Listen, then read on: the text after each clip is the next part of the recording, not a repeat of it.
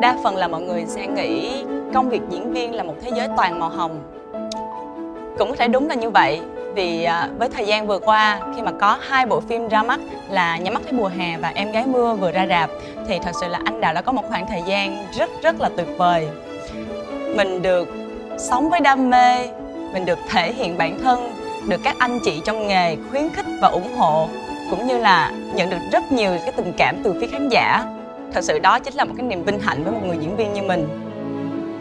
Nhưng mà công việc này không phải lúc nào cũng là màu hồng. Tại vì à, thực chất là anh đào đã bắt đầu từ nghề này từ 4 năm trước, mà mình phải bắt đầu từ những cái vai diễn nhỏ nhất, như là mình đóng phim ngắn nè, đóng mv đóng quảng cáo, thì mình mới có được cái cơ hội lớn như ngày hôm nay. Và để nắm bắt được cái cơ hội này thì mình càng phải nỗ lực nhiều hơn nữa. Bên cạnh những đặc ân của nghề mang lại như là mình sẽ có cơ hội đi rất là nhiều nơi nổi tiếng thì cái việc mà mình phải di chuyển thường xuyên cũng như là mỗi lần bắt đầu làm phim á anh Đào có thể dành 1, 2 đến 3 tháng để theo đoàn phim. Có những ngày mình làm việc 24 tiếng hoặc 48 tiếng không ngủ. Rồi à, câu chuyện mà 2 đến 3 ngày rồi mình chỉ ngủ được có 10 tiếng thôi thật sự rất là bình thường. Có một cái kỷ niệm trong lúc làm phim mà đến bây giờ anh Đào vẫn nhớ đó là trong một cái phân đoạn anh Đào phải nhảy xuống sông vớt một đứa bé lên. Thì lúc đó là khoảng chừng à, 10 giờ hoặc 11 giờ tối gì đó, mọi thứ xung quanh nó đều yên, ắng, tối ôm hết trơn à. Chỉ có những cái ánh sáng từ bên đoàn phim phát ra thôi. Thì à, anh đào không biết là ở dưới sông đó nó có con gì hay không, hay là nó có sẽ những cái vùng nước sâu và mình lỡ có bị trượt chân hay như thế nào không? Mặc dù là mình cũng biết bơi, nhưng mà giữa một cái sông bao la rộng lớn như vậy, rồi lỡ như mình có chuyện gì, mình hô hào lên, mọi người thì ở rất xa, không thể nào mà mọi người kịp thời ra trợ giúp mình được. Nói chung là có rất là nhiều cái nỗi sợ trong đầu, nhưng mà mình vẫn phải dẹp nó qua và mình tiếp tục cái công việc của mình. Thì đến khi thực hiện cái phân đoạn đó, anh đào bị trượt chân. Rồi bị một cái vật gì đó rất là nhọn, nó cắt vào chân của anh đào thì một cái vết cắt khoảng một một đoạn như vậy.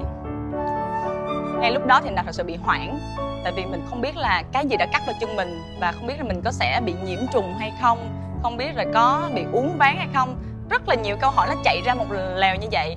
Thì lúc đó là mọi người phải đưa anh đào lên trên lại và thật sự mình vẫn còn rất là sợ. Và sáng ngày hôm sau mình phải vào bệnh viện ngay lập tức để khâu cái vết đó lại cũng như là vệ sinh. Cứ dần dà như vậy, anh đào đã tự đặt ra cho mình một câu hỏi.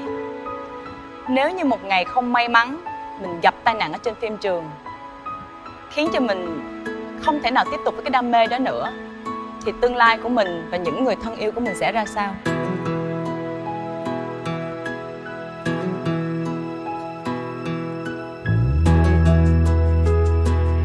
Và nghề diễn viên mà, đâu có ai nói được là ngày mai ánh hào quang đó nó còn mãi hay không? Thì ngay trong khi còn có thể, anh đào đang cố gắng tích lũy cũng như là chuẩn bị sẵn sàng nguồn tài chính ổn định cho những thay đổi trong tương lai.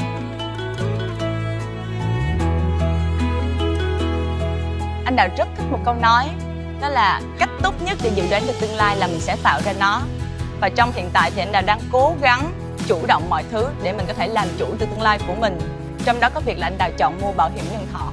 Có nhiều người nghĩ là anh đào còn quá trẻ để nghĩ đến chuyện này, nhưng thật sự bản thân mình lại thấy mình càng trẻ thì mình càng cần đến bảo hiểm nhân thọ. Tại vì sao? Tại vì mình có thể tự tin sống với những hoài bão, đón đầu được những thay đổi, cũng như là vững vàng để vượt qua những rủi ro trong cuộc sống này khi quyết định tìm một sản phẩm bảo hiểm nhân thọ phù hợp, thì anh đào bị thuyết phục hoàn toàn bởi an tâm, hưng thịnh toàn diện của Daiichi Life Việt Nam.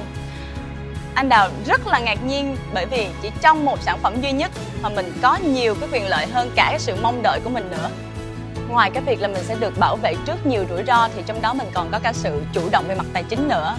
Ví dụ như là trong năm nay khi mà công việc của anh Đào thuận lợi hơn anh Đào có những cái khoản thu nhập nó rủng rỉnh hơn thì mình có thể tăng được cái khoản tiết kiệm lên còn trong tương lai xa, nếu như mà anh Đào lập gia đình, sinh con thì cái phần trách nhiệm nó sẽ nặng thêm thì mình có thể tăng được cái khoản bảo vệ để an tâm hơn nhưng mà chưa hết, với tính chất công việc bận rộn thì việc linh hoạt đóng phí bất kỳ lúc nào thật sự rất rất là tiện lợi. Đó cũng chính là lý do anh Đào lựa chọn bảo hiểm nhân thọ là điểm tựa để đặt nên những viên gạch xây nên tương lai vững chắc của bản thân.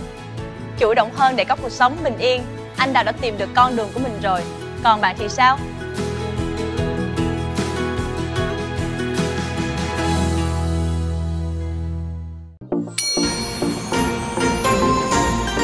Daiichi Life Việt Nam khỏe để kết nối, khỏe để yêu thương